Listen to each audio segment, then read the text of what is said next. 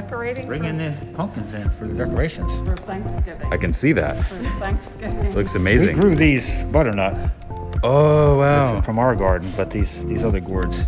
Some of these gourds are from our garden, but some of them are from other places as well. So you mean to tell me there's more There's more. from all of this? Yeah, There is yet more. there's yet more to come. Amazing.